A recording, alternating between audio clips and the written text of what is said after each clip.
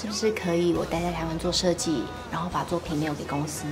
要是有一天在那个异地发生这样子的事情，那该要怎么办？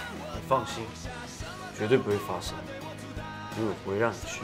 请你帮个忙吧！我知道你是孤儿，但是我还是喜欢你。每周一至周五晚上八点，女力报道，小资女上班记。